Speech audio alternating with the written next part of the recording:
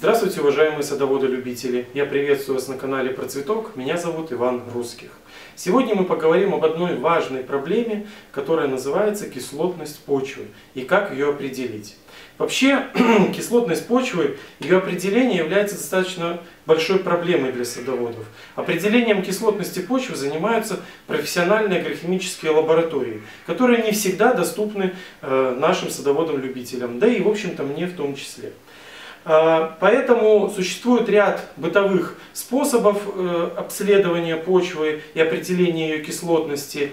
А, чаще всего даются рекомендации по определению кислотности по растениям, которые произрастают на вашем участке. И в принципе это имеет под собой некоторую основу. Но не все люди э, умеют правильно определить эти растения, да и иногда это действительно вызывает определенные трудности. При этом существует иной способ, как определить кислотность в вашем саду. Вообще, э, почему это важно? Потому что большинство огородных растений предпочитают нейтральную кислотность. Если кислотность слишком низкая или слишком высокая, то огородные растения, разве что кроме щавеля, который предпочитает кислые почвы, они начинают страдать от э, недостатка питания. В условиях неоптимальной кислотности почвы растения не могут нормально всасывать макро- и микроэлементы и, соответственно, страдают от их недостатка.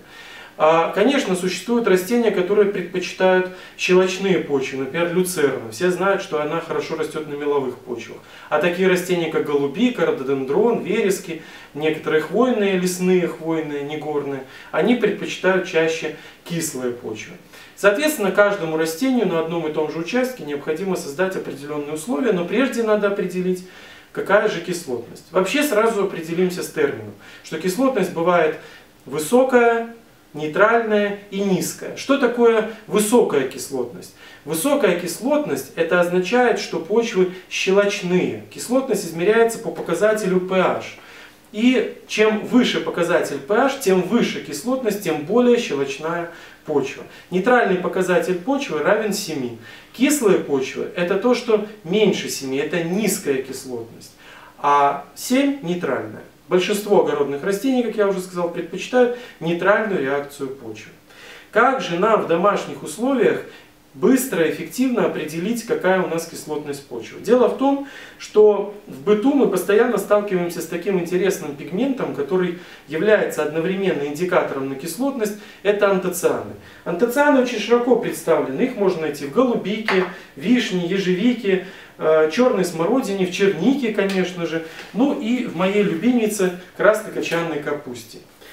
Помощью этих антоцианов, как вы вот здесь вот видите, мы можем определить, какова же кислотность нашей почвы, да и в общем-то кислотность любого раствора. Конечно, этот метод является достаточно грубым. Он вам точно в цифрах не скажет, какая у вас почва, кислая, щелочная, именно в цифрах. Но в целом охарактеризовать вашу почву как избыточно кислую, нейтральную или излишне щелочную, этот метод вам вполне поможет. Среди всех источников антоцианов, которые нам доступны в быту, я выбрал именно краснокочанную капусту. Почему? Дело в том, что ягоды содержат достаточно много кислот, своих собственных кислот, которые в быту нейтрализовать достаточно сложно. И вот наличие этих кислот в ягодах очень влияет на результаты нашего анализа. А капуста содержит минимальное количество кислот в своих листьях. На вкус, по крайней мере, это совершенно не ощущается. Поэтому краснокочанная капуста является наиболее оптимальным источником антоцианов для определения изменения кислотности. Что же я сделал? Я взял примерно 100 грамм капусты краснокочанной, нашинковал ее довольно грубо, немножечко помял в руках, руки сразу прокрашиваются, делаются синими, и залил примерно пол-литром воды. Настоял в течение нескольких часов. В результате у меня получился вот такой вот раствор. Вот этот раствор и является индикатором для нашей кислотности. Давайте проведем небольшой эксперимент. Что это означает? Вот передо мной, например, есть два раствора. И я не знаю, который из них щелочной, а который из них кислый. Я всего лишь намочу палочку стеклянную и опущу в стаканчик. Цвет сразу же поменялся. Чем более синий, а потом зеленый цвет становится, тем более щелочным раствором является испытуемый раствор.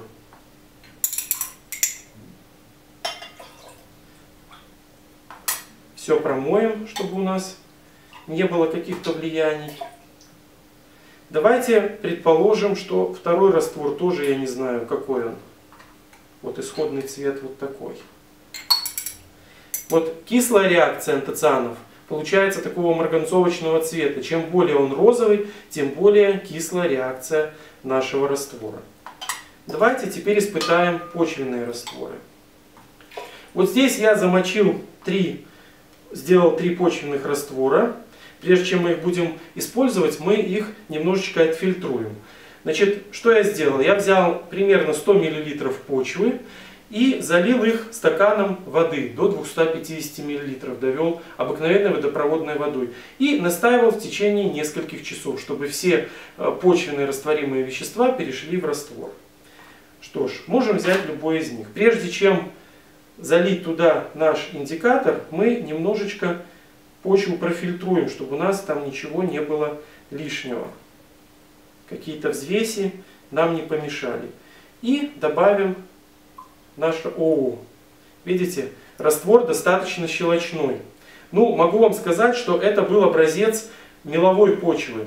Меловая почва, она содержит достаточно много карбонатов и, конечно, дает такую вот слабощелочную реакцию.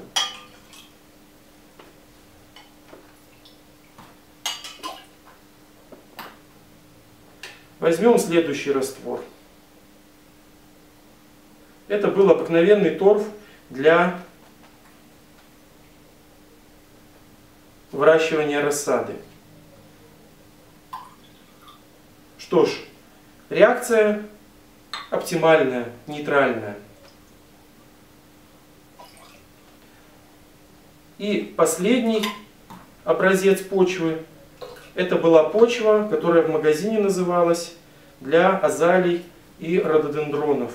По идее, она должна иметь слабокислую реакцию. Ну, мы сейчас это проверим.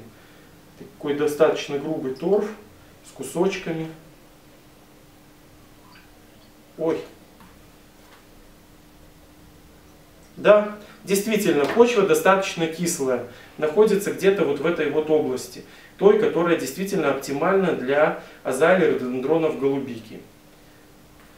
Таким образом, данный способ является хоть и грубым, но достаточно надежным в отношении того, чтобы определить кислая, нейтральная или щелочная почва на вашем участке. Я желаю вам успеха, очень надеюсь, что данный способ вам поможет. А, Смотрите нас на канале про цветок. Чтобы не пропустить наши новости, подписывайтесь на нас, на красную кнопку жмите под этим видео, жмите на колокольчик, а я жду вас в наших следующих выпусках. Всего хорошего!